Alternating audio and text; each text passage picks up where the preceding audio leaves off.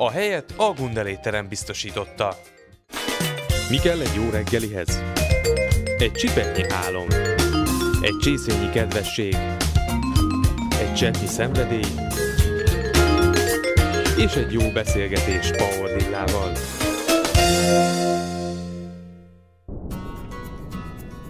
Üdvözlöm Önöket, Power Lilla vagyok, a hatos csatorna főszerkesztője. Pillancsanak bele stúdiónk életébe. Tisztelettel köszöntöm a kedves nézőket az év utolsó Csak természetesen című műsorában. Egy ember életében számtalan olyan ok lehet, ami miatt az elvándorlás mellett dönt. Köszöntöm nézőinket, Nagykörű című műsorunkat látják, ez a nyolcadik évfolyam második adása. Köszöntöm nézőinket, a Foci és Sport című műsorunkat látják, ez a hatodik folyam második adása. Kellemes időtöltést kívánok minden kedves nézőnknek. Nagy vihart kavar, hogyha egy jó külföldi játékos ide szerződik Magyarországra, pedig a sportolói migráció nem új keletű. Mikor szürke és lucskos az Van, aki énekesként, színészként rajong érte, és sokat hallgatja különös hangján előadott sanzonjait. Van, aki földrajztanárként, van, aki iskolaigazgatóként ismeri és van, aki miatta ül le a televízió, éppen a hatos csatorna képernyője elé. A televíziós szakma kemény üzletasszonyként tekint rá. 2011-ben a Magyar Köztársaság arany érdemkeresztel tüntette ki. Minden bizonyal legalább ilyen kedves az első magyar nagyhajós tengeri bajnokság aranyérme, vagy az ábránt fedélzetén a kék szallagon nyert három arany, két ezüst, két bronzérem. A Lillás reggeli mai vendége, a műsor háziasszonya, Power Lilla, a kérdező rendhagyó módon egy korábbi vendég, én Szenes Andrea vagyok. És összeér, még csókolni is jobban kívánok, ha hó, hát legyen hó, legyen hó. Mi úgy ismerkedtünk meg, ugye, hogy vendéged voltam a Lillás reggeliben, amit rengetegen néztek, és nagyon sok telefont kaptam utána, és mindenki azt mondta, hogy olyan más voltál, mint amilyen szoktál lenni. és mondtam nekik, hogy ez, ez tényleg így volt, és ennek oka az volt, hogy különleges volt a kérdező, ami te voltál. és amikor Köszönöm. mentem haza tőled, akkor annyira kíváncsi lettem rád, hisz téged mindenki ismer, mindenki szeret, de mégis nagyon keveset tudnak rólad, tudunk rólad. Te mindig inkább másokat helyeztél előtérbe? Igen, hát tulajdonképpen ez egy érdekes dolog, hogy azt szokták hogy a fodrásznak a frizurája nem jó, a cipésznek lyukas a cipője.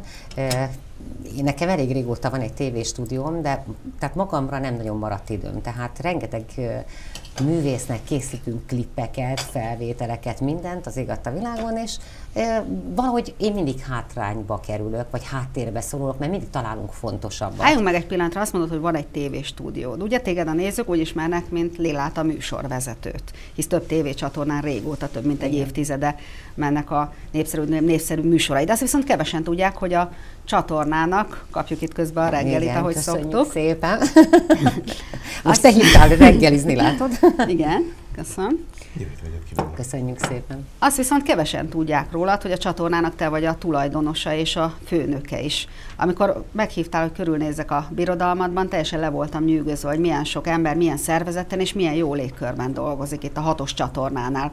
Hogy ezt a csatornát ugyanúgy, mint Oprah Winfrey, ugye a nagy amerikai tósós, ő is a saját csatornáját üzemelteti. És azt hiszem, hogy te vagy egyedül Magyarországon most ilyen nő, aki üzemelteti a csatornáját, és közben csinálja azon a csatornán a saját tóksóját. Igen, Tudod, ez egy egész furcsa dolog, mert Magyarországon olyan képlékeny helyzetek voltak az elmúlt időszakban, és az elmúlt évtizedben is, és én kényszervállalkozóból lettem csatorna tulajdonos tulajdonképpen, mert volt egy pici kis kerületi kábel TV, és a, a, az üzemeltető cég azt mondta, hogy neki erre nincsen pénze, tudod? És akkor én pedig annyira szerettem csinálni, amit csináltam, hogy úgy gondoltam, hogy ö, valahogy megpróbálom életben tartani. És egyik nap még én kaptam a fizetést, a másik nap már nekem kellett fizetést adni. És fogalmam sem volt, hogy hogy fogom megteremteni a felvételeket. De akkor egy munkatárs volt, tehát ketten voltunk, akik főállásban dolgoztunk a tévénél. Mikor volt ez a változás? Ez 2003-ban volt. Éve. Igen, tíz éve. Tudod, és akkor gyakorlatilag ebből, a, ebből az úgynevezett kényszerből, hogy én kitaláltam, hogy jó, akkor én ezt átveszem saját üzemeltetésbe, nekem gőzöm nem volt, hogy mit fogok vele kezdeni, vagy honnan fogok pénzt előteremteni. És akkor volt egy 5000 ezer háztartásban, egy kiskerületi tévé, ami egyébként az is nagyon édes volt, de volt heti két óra adásműsorunk. Most ebből lett egy gyakorlatilag majdnem országosan fogható, tehát az ország szerte nagyon sok helyen fogható, közel 600 ezer emberhez eljutó csatorna, ami egy borzasztó nagy büszkeség a szám. Hát igen, valljuk meg őszintén, nagyon büszke vagyok rá, de hát ehhez nem egyedül én kellettem, hanem nagyon jó, nagyon jó szakemberek és munkatársak. Egy hatalmas sikertörténet. Uh, lehet azt mondani. Tudod, érdekes dolog, hogy az emberek nagyon szeretnek panaszkodni. Időnként én is szoktam, mert mert tényleg nagyon nehéz időszakot élünk.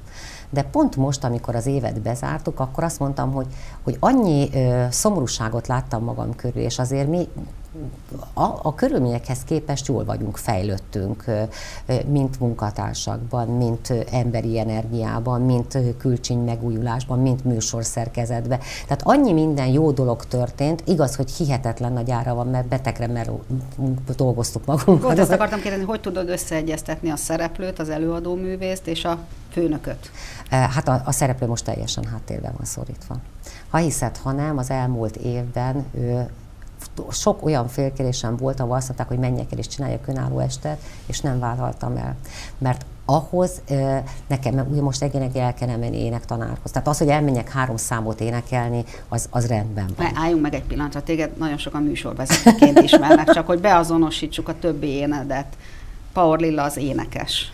Igen, hát az volt eredetileg, majdnem eredetileg, de... Ugye jól tudom, igen, akkor nagy bőgőzni tanultál még igen, a gimnáziumnak, igen, a zenekarában, igen, ugye igen, operaénekesnek igen. is készültél, és aztán végül a különleges hangfekvésed miatt talán a sanzonok mellett igen. döntöttél. Uh, sok mindenem mentem én keresztül addig, amíg a sanzonig eljutottam, mert az OSK-ba tanultam Vörös Sárinál magyar nótát énekelni. Az egy teljesen más műfaj, de én nagyon-nagyon szeretem a magyar nótát.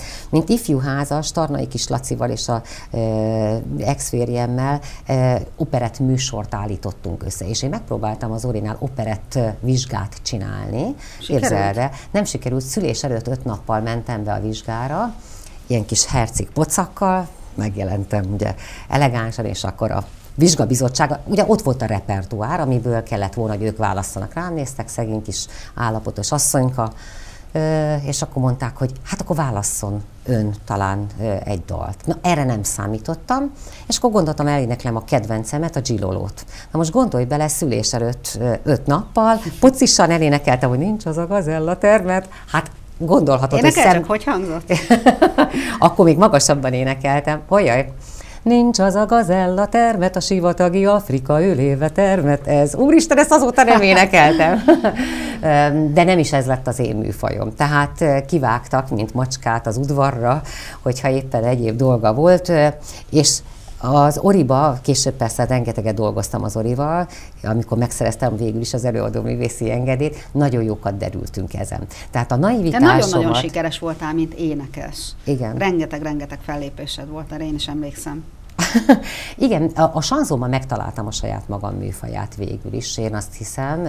Ez is egy hosszabb történet. Egyébként kézzel, volt az ori vizsgáim, tehát a hivatalos előadó művészet. Tehát az első volt a, a, ez, amikor kivágtak, akkor utána elmentem egy másik repertoárra, még azt hiszem akkor is operettel vizsgáztam, az, akkor kaptam egy ideglenes engedélyt, és a harmadiknál pont kórházba feküdtem, Crohn betegség, de akkor még nem diagnosztizálták azt, csak, csak megvoltak a jelei. Tehát most már tudom, hogy az, és egy hónapig vizsgáltak, hogy mi a csuda lehet velem. Valahogy Abba ez volt a Crohn minden... a sokoldalú nagy tehetségek betegsége. A Nobel-díjasok nagyon nagy százalék a Crohn beteg. E, lehet. Egyébként ez a stressznek a betegsége, én szerintem, mert, mert annyira, nem tudom. De hát köszönöm szépen, hogy a Nobel-díjasokhoz lettem Igen. hasonlítva. Na mindegy, és képzeld el, hogy minden nap ilyen csöveket dugtak le a torkomon, és vizsgálták meg, ötször-hatszor vettek vért. És különböző kontrasztanyagokat adtak, hogy nézték, hogy, hogy, hogy mire vagyok allergiás, mi az, ami, ami, tehát mondom, még nem volt ez így diagnosztizálva. És képzeld el, hogy megjött a papírogyori vizsga és nekem pont előtte való nap csináltak gyomortükrözést. És hát akkor még nem ilyen finom módszerekkel ekkora csövet nyomtak le a torkomon, beszélni nem tudtam. Na és akkor behozattam a kórházba, hajszárított mindent, és másnap kimentem énekelni családom nem tudott róla, és akkor ö, megbeszéltem a zongoristával, hogy jön értem, és miután biztosra akartam menni, azt mondtam, hogy karádit fogok énekelni. Tehát azt el tudom énekelni, mert ezt elő tudom adni. Mit Tudod? énekeltél a És uh, azt, hogy ne kérdezd, ki voltam, a sorsomat én akartam, és ha majd egyszer megsokaltam, azt mondom, elég. Tehát ehhez egy, e, e, tehát úgy gondoltam, hogy ezt meg fogom ezt tudni vagy. csinálni, ez én vagyok.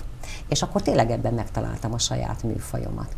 És e, e, tehát ez egy érdekes dolog volt, mert mindenki akkor azt mondta, hogy karádit nem lehet, mert nem divatos, meg nem tudom én mi, de én szerettem az ő műfaját, és aztán ezzel És a hangod is, is megvan hozzá. És a hangom is uh, illik ehhez a stílushoz. És akkor ez a hanghoz, ez a mély hanghoz, ehhez kellett találni tulajdonképpen egyéb dolgokat, és például a piafot, azt az orisok választották nekem, hogy kezdjek piafot énekelni, és attól nagyon-nagyon-nagyon féltem.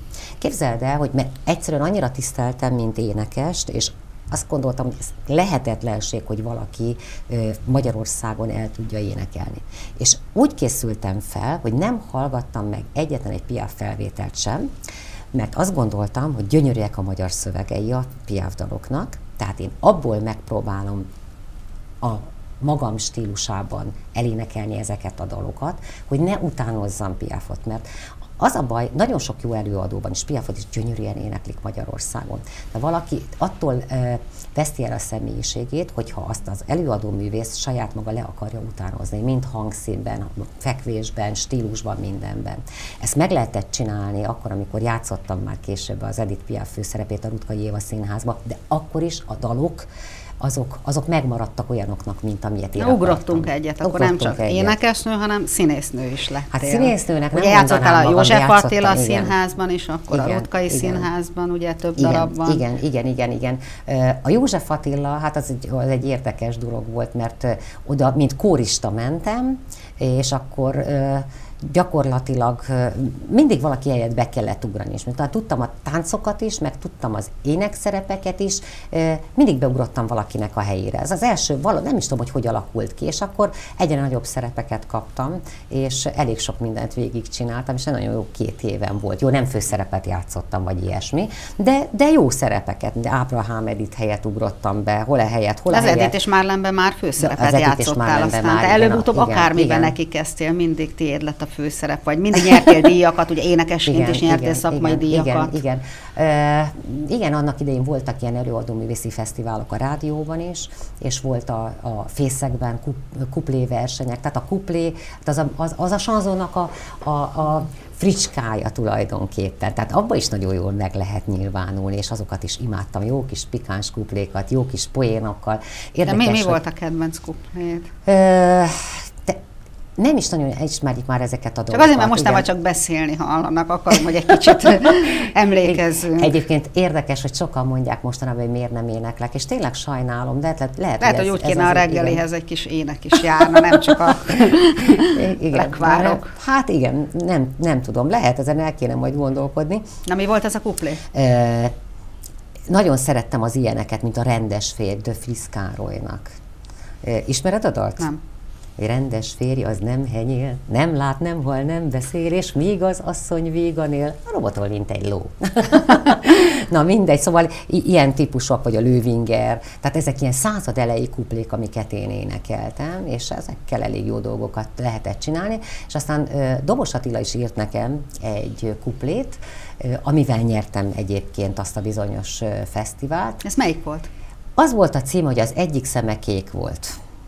A másik, másik. üveg. és képzeld el, olyan petyem volt, hogy ez nem igaz. Tehát megnyertem a kupléversenyt, utána meghívtak a televízióba. Hát akkor olyan típusú műsor nem volt, amiben ezt el lehetett volna énekelni a Rock Kalapács című műsorba.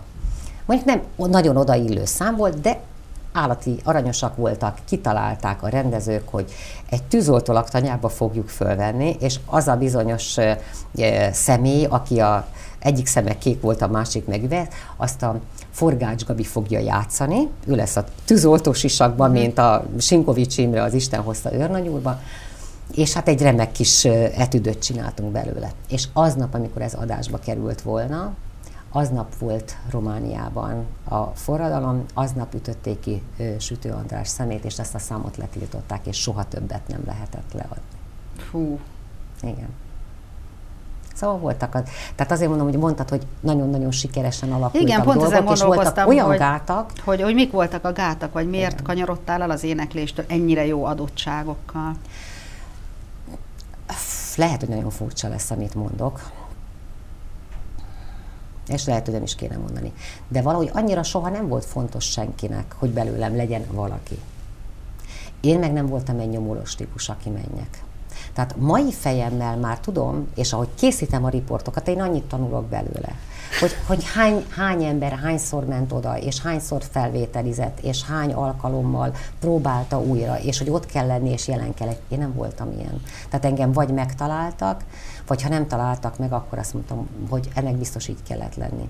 Az egyik legszörnyűbb dolog az életemben, és legszomorúbb például, hogy hallott Nádas Gábor, és fölhívott az Orin keresztül, hogy szeretne nekem számokat írni. Hát neked nem kell mondani, hogy, hogy micsoda nagy dolog érted egy fiatal énekesnek, amikor azt mondják, hogy a Nádas számot akar írni neked. Megbeszéltük, hogy találkozunk. És mentem a Szemüvejsz utcai lakásba, és csöngettem, és nem nyitják ki. Még nem volt mobiltelefon. És kerestem egy telefonfülkét, betelefonáltam az Oriba, és mondtam, hogy nem nyitja ki a ö, Nádas úr a telefon, vagy a nem nyitja ki az ajtót, mit csinálják, mondták, az éjjel meghalt.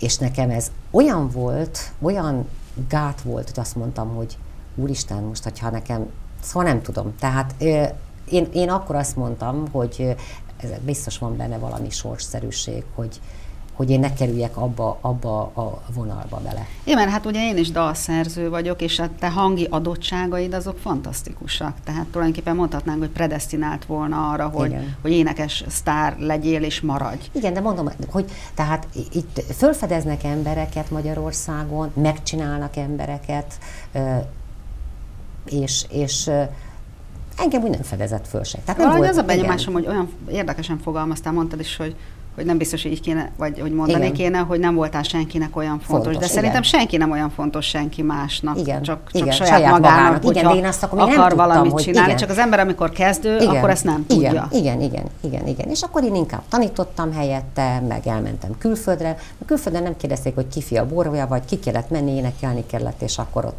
És miket énekeltél külföldön? Piafot. Piafot? Piafot. Igen, igen, igen. Az, egy- az egyértelmű volt, azzal végig lehetett nagyon sok országot és nagyon színpadot járni. És melyik volt, ami a legkedvesebb Piaf dalod volt?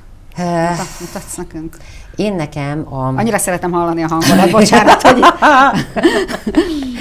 a e, sok, sok, sok dal eljutott hozzám. Egyébként érdekes dolog, hogy a, amikor a Rutkaiban énekeltem, akkor ott e, elég sok új szöveget írtunk rá.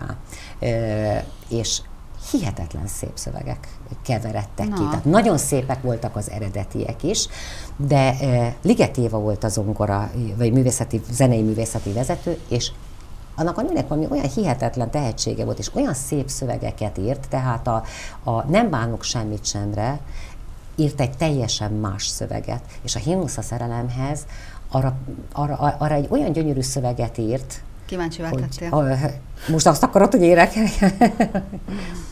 Húha. Hát nem mondtátok, hogy skálázni is kellett, hónapok óta nem énekeltem semmit. Nem úgy kezdődik, hogy hűha. Istenem, most köszönöm neked, hogy a sorsom összeköt veled, legyen áldott minden lépted, hozzád mondok én imát. Tehát így, így, indul a dal. Tehát egy egészen más, más belső indítatású a dal, de a, mm. de a, a, a de az érzelem világa ugyanaz. Mert a végére ugyanoda jutok el, hogy, hogy, hogy, hogy, hogy, hogy a, a szerelem az, ami mi- mindent le, le, legyőz, csak már benne van a, a, a, a halál is. Uh-huh. Szépek voltak ezek a szöveg. Egyébként a harmonikás a kedvencem, a Reményi Gyenes uh-huh. által írt szövegek közül, mert abban egy, egy dráma van benne. Hogy is van ez? A, ez a, a, arról szól, hogy, hogy ugye az utcalánya sarkon áll, és a, a harmonikás a fiúja. De semmi nem érdekli, mert a harmonikás várja, és akkor a harmonikást elviszik háborúba, és meghal, és ő tehát megőrül a végén, és mert csak megy, és hiába van ott más harmonikás, az élet semmit sem ér, és, és, és akkor a zenének is vége kell, hogy legyen. Ez egy nagyon-nagyon szép dal, és egy, egy Hogy, hogy van ez a dal? Dráma. picit még aztán. Hova? Az utca lánya sarkon, szép, mint egy kirakat. Van vendég télen nyáron, ki harisnya pénzt ad. A munkájának vége, a saját útján jár, hol álmodozhat végre egy külvárosi bár. A fiúja egy művész, egy vidám kis legény, ki harmonikán bűvész, és csak néki zenél. Na jó. De csak olyan szépen énekelsz, én itt elhallgatnám, pedig tényleg nem készültünk rá, tehát Hát váratlanul erre nem gondoltam, nekem hogy énekelni kell. hogy- Egyébként én borzasztó nehéz így énekelni. Tehát amikor azt mondják, hogy énekelj valamit, nem is tudom. Szóval ez egy De hogy ennyi év után nehéz. emlékszel a szövegre, emlékszel Igen. mindenre, ez, ez, ez tényleg fantasztikus. igen. És akkor, akkor volt az éneklés, és hogyan, uh, akkor jött a következő állomás, a tanítás, ugye? Igen. Sőt, iskolaigazgató is lettél, ugye? Mert hogy te amibe belekezdesz, ott mindig a csúcsra jutsz, akár melyik területen is vagyunk. Ugye voltunk már énekesek, színészek, most ott tartunk a, az Igen. iskolaigazgatónál és a pedagógusnál. Ugye te Igen, földrajzszakot igen, végeztél, igen, testnevelés igen, szakot, tanít- pedagógia szakot. Igen, igen te, tanítóképző. Hát imádtam Tehát abszolút túlképzett vagy. Igen. Hát egyszerűen tanítani az egy csoda. Szóval a kor szellemének megfelelően képesítés nélküli tanítóként kezdtem, mi alatt jártam a Zeneakadémiára, az opera szakra előkészítőbe, ahol Pitti Kati volt a gyakorló tanárom. És és, és, és a sors úgy hozta, hogy muszáj volt felvételizni, mert azok, akik képesítés nélkül tanítottak, azoknak muszáj volt felvételizni. Na most képzeld el, direkt nem készültem a felvételire. Tehát olyan furcsa sorsszerűségek vannak, mert azt mondtam, hogy nem, én operaénekes akarok lenni, és arra tettem föl mindent, hiszen erre készültem évek óta, mint Istvános, mint Nagybőgös, mert játsz, énekeltem ö, különböző szí- dalokat szimfonikus zenekar kísérletében, az István zenekarral. E, és a tesóm, aki egy elképesztő jó fej, és hát együtt lakunk a mai napig is, és legjobb barátom is, mondta, hogy na, édes jó Lajosom, mert mi így hívjuk egymást otthon, a tóték után szabadon, akkor na most az volt, amiből a francia forradalmi egyest írtál annak idején a gimnáziumban, akkor most francia forradalmat most elmondom neked legalább azt az egyet, hogy és én vasaltam. Egy, egy testvéred van? Egy, egy nővérem, igen. És én vasaltam, és az emőke, aki kiváló volt történelemből, és egy remek jogász, szépen mondta a francia forradalmat, belém verte. A legkisebb részleteket, tehát ilyen plusz dolgokat, nem csak azt, ami a tananyag, ő mindent elmondott, amit kellett tudni a francia forradalomról. Mit húztam ki? Francia forradalmat. Fölvettek. De én úgy sírtam aznap, amikor fölvettek, érted? Mert azt mondtam, hogy na jó, ha most fölvettek, akkor elvégzem a főiskolát, mert azért annyival tartozom a sulinak is, magamnak, tó, legyen egy, egy pedagógiai diplomám. És valahol megéreztem, hogy akkor már nem lesz belőlem operaénekes, mert azért tanítani napközben, esti egyetemre vagy főiskolára járni, plusz operaénekesnek készülni, az már nem megy.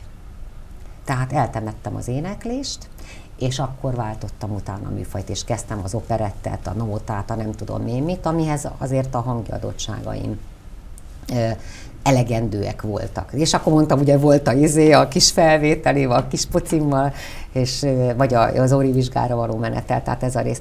És hát imádtam tanítani. Hát te figyelj ide, egy ö, másodikos gyerek, még második, negyedik, ötödikes gyerek, harmadikos, nyílik az értelmük. Hát olyan jó pofák tudnak lenni, annyi humor van bennük, és annyi kedvesség, és én úgy élveztem velük foglalkozni, hogy ezt el nem tudom neked mondani. Hát állati édesek és jó fejek. Tehát a mai napig is elég sok tanítványommal tartom a kapcsolatot, pedig hát nagyon rég volt már az, hogy tanítottam, de hát szenzációsak.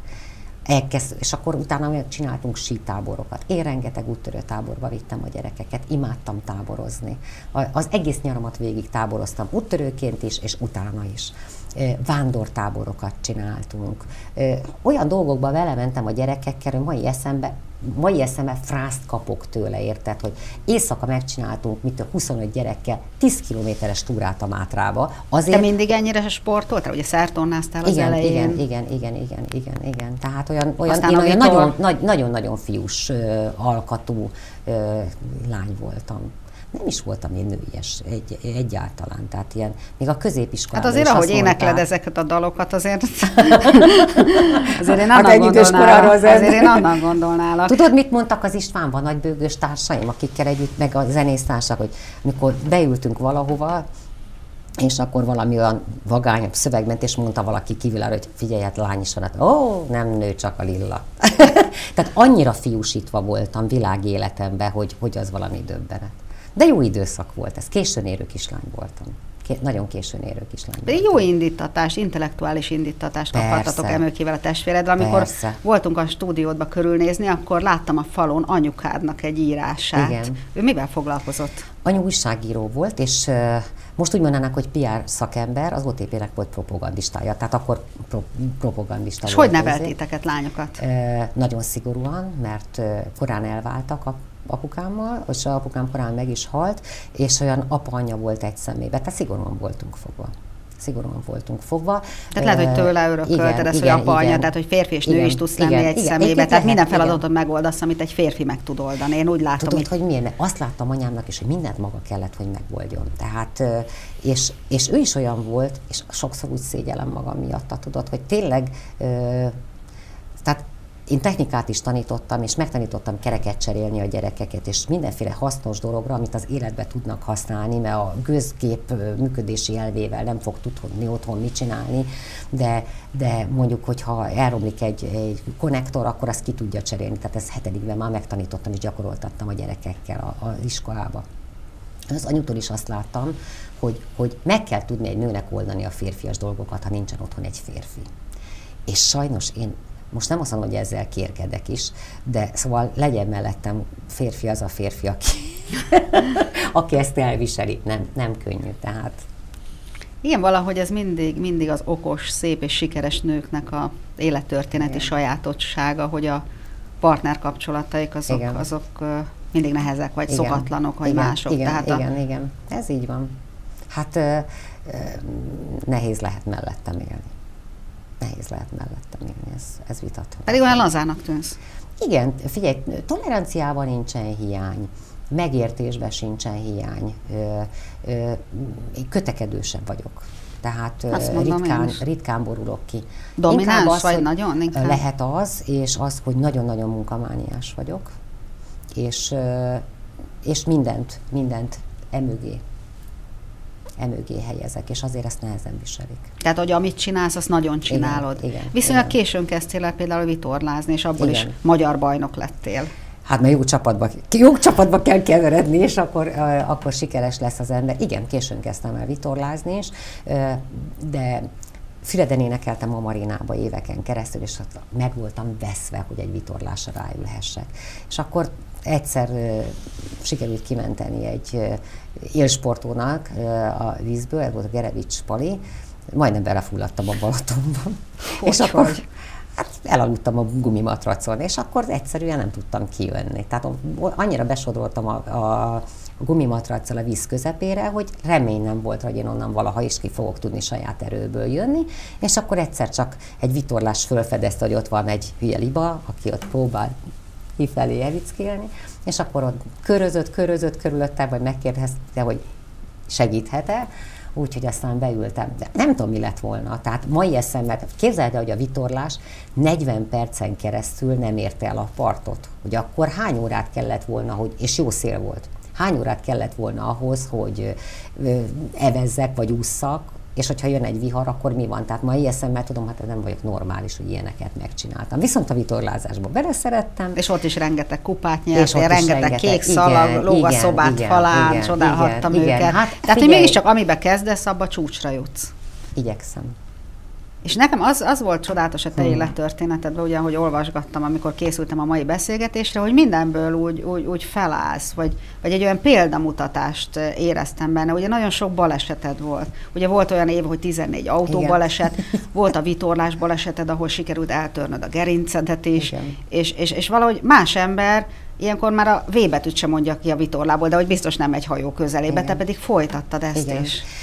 Ö, Amikor az első olyan autóbalesetem volt, ami totál káros volt, és amiből kórházba ébredtem, akkor az volt az első gondolatom, hogy gyorsan kéne venni egy másik kocsit, hát hogy, hogy gyorsan visszaüljek vezetni. Akkor nem gondoltam, hogy még annak annyi, annyi-annyi következménye lesz, mert aránylag hamar kijöttem a kórházból, a, a, az utóhatások és a, a szövődmények később jöttek, amiből aztán sok műtét is volt, meg mindenféle. Amikor a, én annyira szeretek vitorlázni, és Érdekes, hogy a vitorláson be van zárva az ember, de mégis olyan szabadságérzetet van, hogy a vizen mész, és a, a, szelek, a, a befogod a, a szelet a, a vitorlák közé, érted, és, és, és száguldasz vele, vagy éppen cammogsz, vagy várod a szelet. Tehát mind, minden pillanatának megvan a maga szépsége, hogy tehát amikor megvolt a vitorlás baleset, akkor ö, még nem tudtam, csak percekig nem kaptam levegőt, meg hörögtem, meg minden, és éreztem, hogy nagyon-nagyon-nagyon nagy baj van, de rögtön akartam, amikor már eszméltem, hogy, hogy a feladatomat ellássam, hiszen versenyen voltunk, és akkor nem gondoltam, hogy hónapos, több hónapos kórház lesz a vége, de ott is az volt az első, hogy ez októberben volt, hogy tavasszal már ott legyek a versenyen. És ott voltam a tavaszi versenyen már, mindenki azt mondta, hogy nem vagyok normális, de nézd meg, hát itt vagyok azóta, és, és gyakorlatilag lehet mondani, hogy egészséges vagyok. Tehát jó, ennek is vannak ilyen kis utóhatásaim, gerincsérve ez az amaz, de, de végül is szépen összeszedtem magam. És van olyan verseny, egyébként nem is a fizikai munka és a mozgás az, ami, ami bántja a hátamat a versenyekben, hanem a szélcsend, amikor görnyedsz órákon keresztül egy ilyen kis pikputyban, és nem, nem, nem tudod azt a tartást hozni, mert egy, egy fizikai munkánál, amikor csörlőzöl, vitorlázás nagy szélben egy nagy fizikai munka és nagy erők kellenek hozzá, és a mi hajónkon azért vannak lányok, nők, ilyen velem egy súlycsoportban levő asszonyok. Mi kettesével oldjuk meg azt, amit más egy. Tehát ilyen, mint a nagyapó répája. Tehát összeadjuk az erőnket, és mi ezt nagyon jó kigyúrtuk a hajón. Tehát ez egy nagyon jó kis csapat, akivel dolgozunk együtt.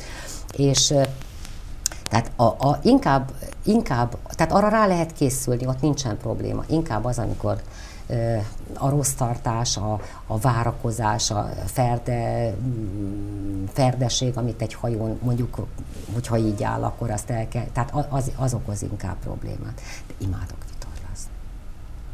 mi Fantasztikus volt, érzés. És, és, és mi volt a fejedben, amikor téged annyiszor így, így, így kis pofonok értek? Tehát mi volt az, ami segített neked túljutni ezeken a nehézségeken? Van egy nagyon erős családi hátterem. A párom szokta mondani, hogy a anyukám a fő matriarha, ugye, és egy matriarchális társadalom van. Ja, hogy a nők, Ott, nők igen, vezették igen, a világot. Igen, igen, igen, bár most már vannak fiúk. Pedig hát neked egy szem lett, fiam, tehát... A keresztfiam, a gyerekemnek a gyereke, az is fiú lesz, most leszek nagymama. ha nagyon várom, akkor a keresztgyerekemnek az is fiú, tehát most a fiú vonal fog erősödni, most jön az az időszak. De hát mi ott vagyunk, mi nők, és mindent megbeszélünk otthon. Tehát az egy, az egy jó az egy jó háttér, tudod, hogy, hogy tartjuk egymásba a lelket. Nem olyan egyszerű az élet, mint amilyennek látszik. Pedig az a Facebookon a vezető mondatot, hogy szeretem, ahogy élek. Igen. Bármi hát nehéz is szeretem, igen, ahogy igen, élek igen. Hát most gondolj bele. Igen. Szóval annyi jó adatik, és annyi siker adatik, még ha vannak nehézségek is, még, és ha, még ha nem is az a siker, mondjuk, ami olyan nagyon zajos siker. De engem miért nem, szab, nem szokott írni a bulvár sajtó. Lehet, hogy azért nem csinálok Nem, ezen csodálkozom. Igen, hát ezért mondom, hogy annyira nem fontos, tudod? Ugye, ahol Lilla csinál egy tévét, vannak műsorai, nem csinál Hát körülötted olyan rendezett igen, a kommunikáció. Igen, igen, igen, igen, igen, tehát valószínűleg emiatt. Tehát, de mondjuk az is érdekes, hogy hogy ki hogy kezeli ezeket a dolgokat. Mert hogy ahogy mondtam az elején, hogy téged mindenki ismer, mindenki szeret, és ö, mégis viszonylag kevés dolog derül ki rólad. Igen, igen, igen. de nem azért, mert, mert, mert látod, én egyébként, igen, igen, hogy, hogy, hogy én nyitott vagyok. És hát tehát, olyan érdekes életed van, hogy fantasztikus. Hát, Egyébként több könyvet tehát a, a, ahogy itt ülök, élvezem, ahogy mesélsz, reggelig hallgatnám, ahogy énekelnél, vissza kell fognom magam, hogy ne kérjek több dalt. Most képzeld el, most mondok neked, hogy milyen nehézségek érik a, a, az ember. Szegény anyám, hát én orvosi ló esete vagyok. Hát most gondolj bele, két éves voltam, amikor oltatlan mészporba estem, és a szemembe oltódott be. Hónapokon keresztül nem lehetett tudni, hogy látni fogok-e vagy sem ez, ez, volt a, ez volt a, de hat hónapos koromban egyszer volt bárányhimlőm és kanyarom. A folt hátán folt, illetve hólyag hátán hólyag. Tehát ilyen halmozott. Akkor hat éves voltam, amikor ö, azt mondták, hogy a szívemben a fő ütőér az nem erről arra megy, hanem arról arra. Ki volt, ben voltam a kórházban, hogy szívműtéten esek át. Tehát olyan hihetetlen ö, dolgok adottak az életembe, és valahol lehet, hogy, hogy, hogy a gyerekkortól abból is sikerült fölállni. Ezt képzeld el, hogy, hogy a Mária utcában mit küzdhettek azért, ért, hogy a szemvilága megmaradjon.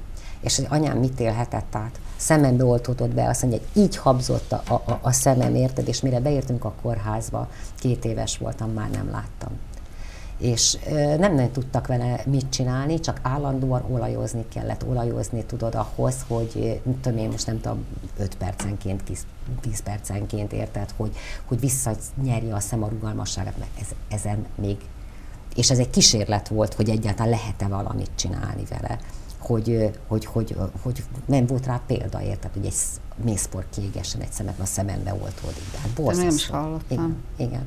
Tehát olyan, és tudod, hogy mi az érdekes, hogy az Edith Piaf életében, az Edith Piaf szintén egy ideig vak volt, annyi olyan dolog volt az életében, ami köszönt az én életemmel. És neki is gyerekkorában volt valami olyan betegség, ami megtámadta, amitől egy időre ideglenesen elvesztette a látását akkor utána, amikor tizenvalahány éves voltam, akkor az első szertornász balesetem, ami után öt évig így hordtam fűzött vaspántba voltam be fűzve, érted, és nem lehetett tudni, hogy egyáltalán abból is hogy kerülök ki. És amikor azt mondták, hogy gyógyult, akkor azt mondtam, jó, akkor testnevelés szakot fogok végezni. Tehát ilyen... Tehát te mindig lapot húzol igen, igen, az élet igen, dolgaira. 19 tehát, ráhúzok egyet. Igen, tehát ilyen igen, kicsit, igen, igen, hogy, igen. hogy megmutatjuk. Mert a, a sónak tovább kell mennie, csak azt még akkor nem tudtam megfogalmazni. De, de tényleg nem lehetett könnyű mellettem, tehát és eléggé mentem a saját magam útján. Nem olyan dolgokat csináltam, ami botrányos lenne, vagy kirívó, érted? Csak egyszerűen csináltam olyan dolgokat, amitől más fász kapott, és ezt elég jól kezelték. Például? Most ugye nagymama leszek, és egy picit, hú, hát ezt sírtam, nevettem, amikor megtudtam, olyan boldog voltam, hogy például, a, a, mikor az Zolit vártam, és akkor Zoli a te fiad, Zoli a fiam, igen. Az Zolit vártam, akkor pontosan a gerinc sérülés miatt, az első miatt, ugye be volt írva, hogy szigorúan tilos normálisan szülni. Csak császárral lehet, mert lebénulhat. Na ehhez képest én ott alkudoztam az orvossal a szülőágyon, hogy én viszont nem akarom, hogy legyen a hasamon vágás, és én meg fogom szülni rendesen. Tehát érted, nem, nem, nem voltam egy megalkúvó típus. Most például ez jutott az eszembe, ami szintén a betegséggel kapcsolatos. Nem tudom. Olyan tehát a szabad, igen, szabad igen, akaratot, macska, hogy igen, a... Igen, igen, hogy talprásig igen, bármilyen igen, magasról igen, is essék. Igen, igen, igen, igen. Kisírom magam, sokat sírok. Sokat sírok. Sokat sírok? Sokat sírok, igen. Mert a feszültséget nagyon Mi, Mikor sírtál utoljára? Szerintem két napja. Két napja? Hm. Igen. Hát vannak nehéz pillanatok az ember életében. Igen, nehéz, nehéz. Tulajdonképpen én tudom igazán, tehát az emberek látják ezt a szépet, hogy mi ülünk itt és beszélgetünk, ja. akár te kérdezel, akár, akár én kérdezek, de mögött azért sok, sok nagyon kemény munka van, hát, és nagyon igen, igen, igen. Nem, nem könnyű ma egy tévécsatornát üzemeltetni, hát nem. és ezt, ezt te fantasztikusan szépen és jól csinálod. Szóval ez olyan, tényleg olyan, csinálni, olyan példamutatóan Igen, igen de hát nem, tényleg nem könnyű, nem könnyű. Tehát annyi mindennek kell ahhoz összejönni, hogy, hogy ez működőképes legyen, hogy ö, ez azért egy időnként megvisel. De tényleg egy nagyon jó a csapat, tehát a kettő azért ott van mellettem, mondom, a család, és nem utolsó sorban az Oli a fiam, akivel együtt csináljuk az egészet. És, de hogy kiegészítjük egymást, mert ő... Ő is ugyanolyan sok oldalú lett, igen, mint te, igen, ugye? Igen, zenél, igen. jogász, igen. vág, operatőr, tehát, tehát minden, igen, mindent csinál. Igen. Ő csinál nagyobb nagyon lélegzetű tehetséges. Igen, nem is tudja, hogy mennyire tehetséges. Ő is örökölt ezt a munkamániát? Még rosszabb, mint én. Még rosszabb, mint én. Képzeld el, azt csinálja, hogy bejön reggel nyolckor, ott van ötig, akkor elmegy a feleségért, hazaviszi, és egy óra múlva visszajön, és dolg, minden este. Hát én nem is tudom. Szóval, de lehet, hogy is ugyanezt csinálom, és azért vagyok egyedül egyébként, vagy, vagy azért nem, nem, nem lakik velem senki, hogy így mondjam, mert, mert azért ezt nagyon-nagyon nehéz elviselni. Úgyhogy remélem, hogy az ő házasság. Tehát anyukád ez... meg testvéred veled vannak, igen, nem? Igen, igen, igen. Jó, de én most Akkor... férfi emberre gondoltam. Tehát nem, nem vagyok magányos, mert csak, csak nem lehet velem együtt élni, vagy ne, nem, nem, nem egyszerű annak. Tehát az, Ugye ez, erre már volt példa, és akkor ez, ez, így, ez, így, ez így működőképes tud lenni ilyen szempontból. Én úgy értem, hogy ti nagyon szépen összehangoljátok a fiaddal ezt a munkát. Én Igen. is tudom, én dolgoztam apukámmal együtt, tehát hogy nagyon szép is, ugyanakkor nehéz is, de nagyon szép Igen. is családon belül dolgozni együtt. Hát és megvigyük a magunk csatáit, mert neki sokszor más az elképzelése, mint nekem. Ő, ő inkább a művészi megvalósításban, illetve a szerkesztésben Könyörtelen. Igen, igen, sok mindenben nem enged beleszólni, viszont a cégvezetés és az egésznek a szervezése az az enyém. És hogyha neki céget kéne vezetni, az elég nehéz lenne. Tehát jogot végzett, de nem egy gyak... Ebben a szempontból nem gyakorlatias. Viszont minden, amit csinál, az, az, az jó. És a munkatársaimnak is szoktam mondani, neki is, hogy úgy kell minden dolgot letennünk, hogy egy munka kettőt hozzon. Igen, be, bementem én az igen. ő vezetői szobájába, és láttam a zongorákat, pianinokat heverni Olyan szerte szép zenéket. Olyan gyönyörű zenéi vannak, hogy az nem igaz. Soha életébe be nem ment egy kiadóhoz. Vagy el nem ment valahogy játszák. Ugyanolyan hülye, mint én. Ha jól emlékszem, olvastam valahol, mintha írtatok volna egy dalt, ami egy kicsit ilyen arszpoétikus. Elmondod, Na, vagy hát elénekled? Ez most nagyon váratlan, azt, lehet, hogy nem azt, is tudod, de... Ezt nem fogom tudni elénekelni, mert ez tényleg úgy, úgy szép, ahogy van, de erre Egyébként az a tervem, hogy tényleg fogunk csinálni egy klipet, mert gyönyörű a szám. Olyan szép Azért, szövege is van. Uh-huh, igen, igen, igen. Azért igen. mondd el. Ez arról szól, hogy az egész életünk egy szerepjátszás, és a saját szerepünket játszuk az életünkben. És hogy a, minden, tehát minden, minden rossz nap után egy új nap, egy új nap ébred ránk, és, a ráncok eltűntek, várja, hogy a csodában. Jézusom. Nagyon szép Az arcodról a ráncok eltűnnek egy új nap hajnalán, mert bármi történt, az élet megy tovább. Nagyon-nagyon szép a szám. És az úgy sikerült, képzeld el, hogy készített, bármi történt, az, az élet, élet megy tovább. tovább. Igen, tehát gyönyörű. Úgy kezdődik, hogy mondd, miért sírsz, ha valami nem sikerül. Mondd, miért bánt, ha titkod néha kiderül. Szerepet játszol az életednek minden percén át ahelyett, hogy magad vállalnád. És könnyebb az élet, ha önmagad játszod el. Tényleg nagyon-nagyon szép a szám. Tényleg lehetne elképesztő, tényleg. És nagyon jó volt ez a zenét, azt Zoli csinálta. Zoli csinálta? Igen. igen. Teljes slágeres zenéje van. Igen, Tényleg, na azt slágeres zenéje gyönyörű. van. De tényleg érdemes zeneképet. Csináltunk egy, egy CD-t, ami azért, vagy le, kazettát még régen, ami azért nem lett kiadva, mert aki szponzorálta volna, azt leültették a börtönbe. Tehát azért mondom, nekem megvannak ezek a és azt mondtam, hogy jó, akkor nem csinálok többet. Tehát lehet, hogy azért lettél te tulajdonos, meg főnök, lehet. hogy most már ne legyen olyan főnök, akivel valami történik, hanem biztonságosabb, igen, te vagy igen, az. Igen, egyébként a biztonságérzet nagyon fontos a számomra, és magam mögött jó kedv és a biztonság, tehát az, az na, nagyon nehezen viselem a rossz kedvet, vagy a, a, a szomorúságot magam körül. Na, és akkor képzeld el, hogy de ezen, az, ezen a kazettán olyan számok voltak mind, hogy amikor meghallgattuk úgy egybe, azt mondta a, a Jankai Béla, azt mondja, tehát anyukám, öngyilkosak lesznek az emberek hogyha ezt végighallgatják. Hát ez csak arról szól, hogy a szomorúsága, bánata, nem tudom mi. És akkor mondom, hazamentem, és már másnap kellett, volt az utolsó, tehát másnap volt az utolsó nap a stúdióba. És akkor mondom, hogy gyerekek, hát valami vidám kellene. És az Oli leült az zongorához, és megírta ezt a dallamot. Tényleg olyan jó slágeres igen, igen, igen, tényleg érdemes és lenne megcsinálni. A, a, az Indulhattatok volna fesztiválon vele. De látod, például ezt a, a dalba el lehetett volna. Arra gondoltam igen, én is valamilyen igen, fesztiválra igen, érdemes igen, lett volna. Igen, igen, igen, igen. igen a jó igen. pozitív, olyan igen, sugároz, igen, ami, amit te is mondhattál szám, magadnak, hogy rossz kedved van, igen. akkor valahogy vagy igen, segítsen egy dal nekünk. Igen, egyébként a zene rengeteget tud segíteni és egy-egy dal rengeteget tud segíteni. Hát aztán tudhatod, hiszen ebben éltek, érted, hogy egy-egy sláger micsoda, vagy dal milyen érzés hullámokat tud kiváltani, akár pozitív, akár negatív. Most a szomorú vasárnap ugye a negatív példa, a pozitív pedig az, hogy az ember betesz egy slágert, és, és egyszerűen olyan lesz tőle, vagy, vagy hogyha ha szerelmes, akkor azt hallgatja, hogyha olyan kedve van, akkor a másikat. Tehát igen, és tudod, a, a szövegíróknak is, na, most ezen még nem jutott ezen, mekkora felelősségük van.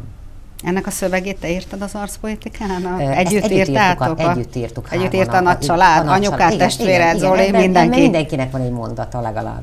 és szépen összejött az egész. Az Te nagyon szoros családi kötelékekben igen, élsz. Igen, igen, igen, igen. De ez egy jó dolog. Ez egy jó dolog.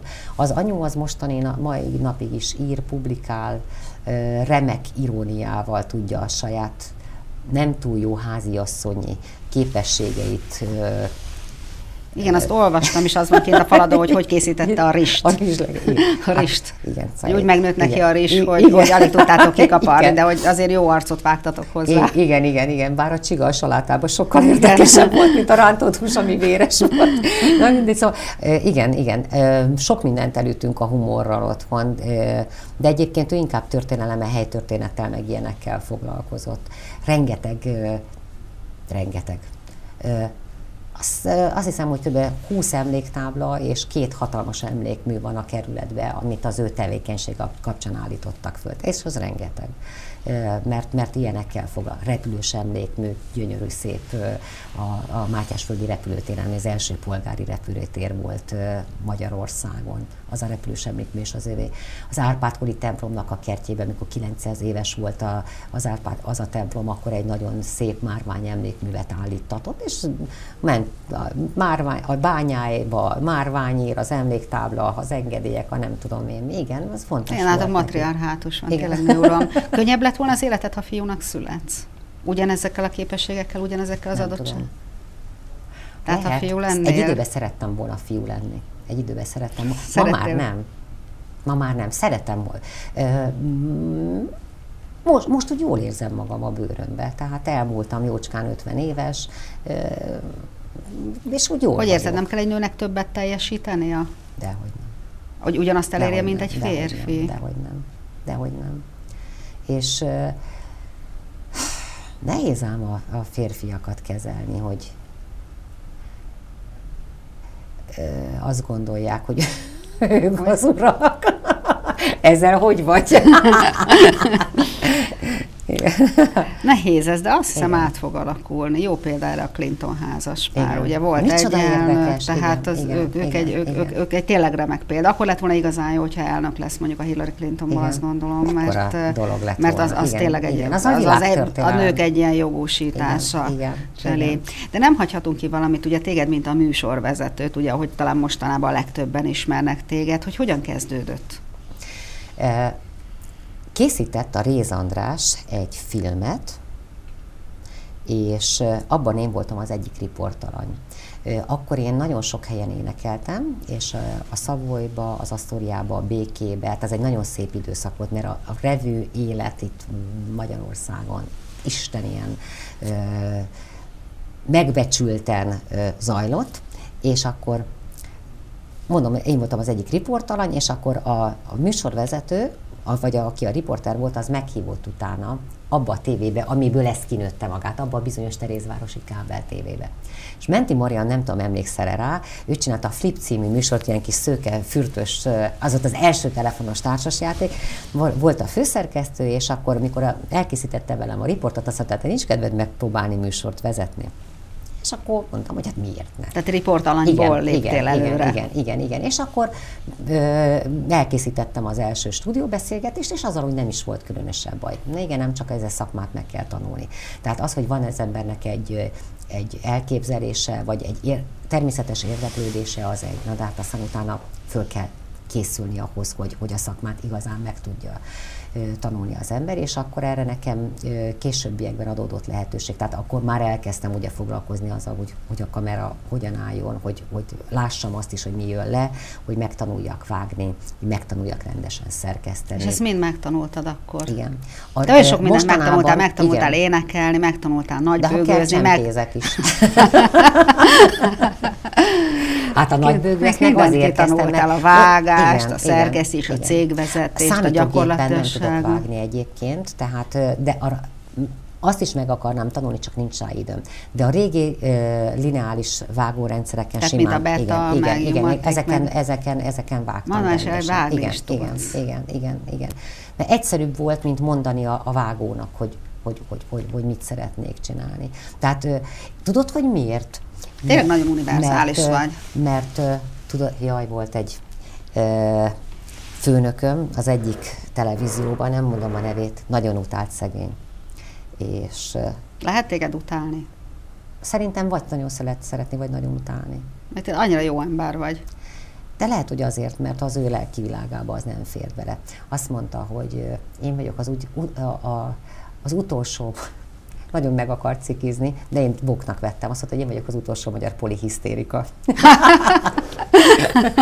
Ez Tehát jó, igen, polihisztérika, igen, ez igaz, igen, mert nem a polihisztérika De- igen, része, tehát a hanem a nőre poli, ért, igen, igen. igen, igen. Tehát azért mondom, nagyon meg akart bántani, egyébként ezt televízióban mondta el rólam, amikor az egyik tévét bezártuk, és akkor az utolsó adásban mondta, hogy a nem tudom, hogy kivel, melyik képernyőn fognak majd találkozni, de Paul Lillával, aki az utolsó magyar polihisztérika, biztos, hogy fognak meg a képernyőn. Tehát én ezt dicsőségnek, vagy dicsőségnek vettem, mert szóval mikor pici voltam is, ott álltam a kőműves mellett, a csempés mellett, a vízszerelő mellett, a nem, és lestem, hogy mit csinálnak. Minden mozdulatot. Tudod, hogy ha szükségem lesz rá, akkor én azt meg tudjam csinálni. Most vágt, voltam fodrásznál, sokat szoktam hajat vágni másoknak, és voltam Nem fodrásznál, és láttam egy új technikát, és azt most a múlt héten a páromon ki is próbáltam, és nagyon jó frizurát vágtam neki. Tehát... Akkor azért van les- párod, csak nem lakik veled. igen, igen, igen, igen. Azért mondom, csak, igen, igen, igen. Tehát azért mondom, nem vagyok egyedül, nagyon jó kapcsolatban vagyok 7 éve, és le a kalappal. Azon gondolkozom, hogy te tényleg mindenben így a csúcsra eljutottál, vagy legalábbis győztél. Ugye énekesként nyertél elismeréseket. Hú, majdnem el is felejtettem, még egy állami elismerést is kaptál. Ugye, ugye megkaptad a Magyar Köztársaság arany érdemkeresztjét a kulturális tevékenységére, ami egy nagyon nagy dolog. És én is azt gondolom, amikor körülnéztem a csatornádon, hogy, hogy ez tényleg egy, tényleg egy nagyon-nagyon nagy dolog, és hogy, hogy, hogy ilyen értékeket még közvetít valaki, és ezért ilyen sokat dolgozik is. Örültél ennek a Hát, kitüntetésnek? csodában ne. E, Ezt a, ezt a Szirmai László terjesztett egyébként föl, az OSK-nak az igazgatója. Mert nagyon sok olyan fiatal, pályakezdő, tehetséges, és és olyan zenészeknek, akik nem jutnak be a kereskedelmi csatornákba, lehetőséget biztosít a csatorna arra, hogy, hogy, hogy, hogy nyilvánosságot kapjanak. Rengeteg olyan anyagot készítettünk el, amivel neki tudnak indulni az életnek, külföldnek, hogy munkát szerezzenek. Igen, tehát én úgy látom, nálad ilyen okosok dolgoznak, tehát akik nem feltétlenül kereskedelmi csatornáknak lennének igen, a... igen, igen, igen. Figyelj, tudod, hogy mi a... És ez egy ezt nagyon nagy dolog, hogy ez működik nálatok. Tehát ez- ez, De én nem is, tehát annyiszor Ez egy ilyen pici kis központ Igen, Magyarországon igen, tehát én belül, azt ami- gondolom, ami- hogy, hogy ennek a csatornának az a célja, vagy az a feladata, hogy először is ne borzoljon idegeket, hogy megoldásokat mutasson az embereknek, hogy ha leülnek, akkor ne az legyen, úristen, most kit gyilkoltak, kit koncoltak, stb. stb. Vannak benne igazi értékek, nem bulváros, de ehető, nézhető.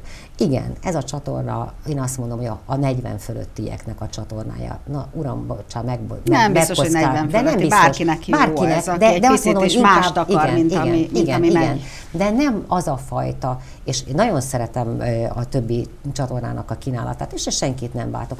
Nagyon nehéz megtanulni azt a részt, ami más, mint a többi. Tudod? Olyan És- powerlillás. olyan powerlillás, igen, igen. Köszönöm szépen, hogy itt lehettem, és nagyon sok sikert kívánok. Én köszönöm neked. Önök most a Lillás reggeli 25. ünnepi kiadását látták, ezért ültem én most a kérdező helyén. Én pedig, kedves nézőink, köszönöm szépen Szenes Andreának, hogy itt ülhettem ma a vendégszékében.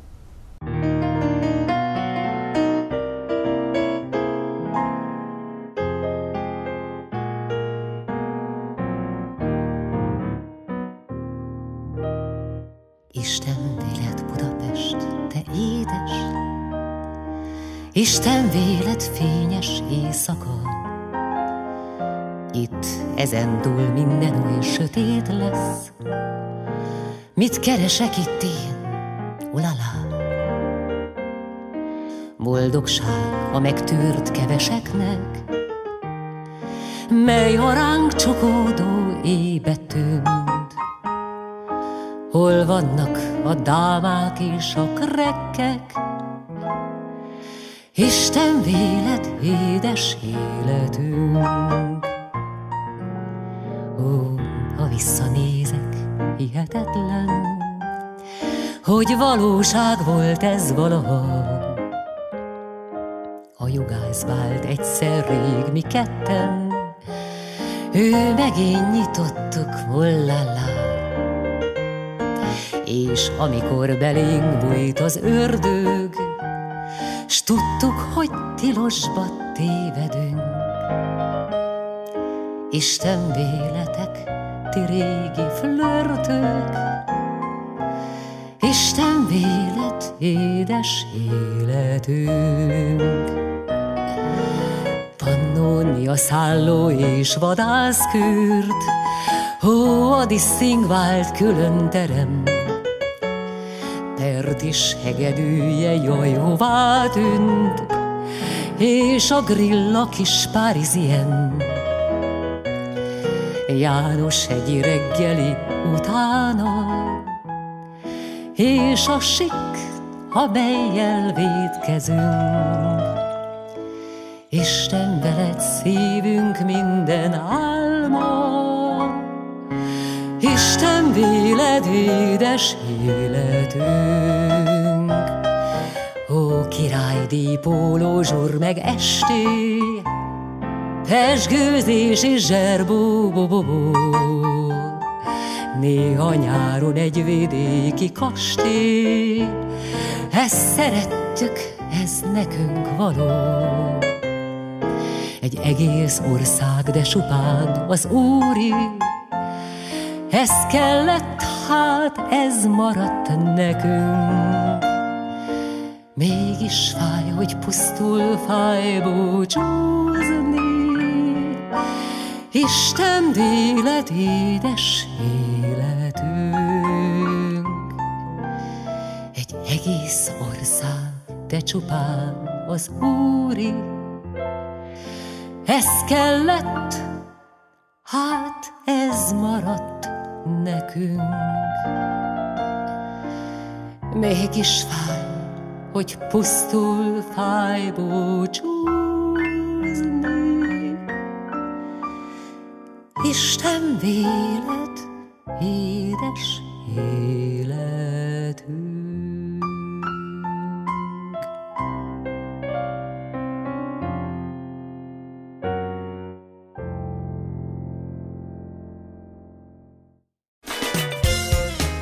De annyira kíváncsi vagyok rá, hogy, hogy alig várom, hogy visszajöjjön és ideüljön, és elkezdjük ezt a mai beszélgetést.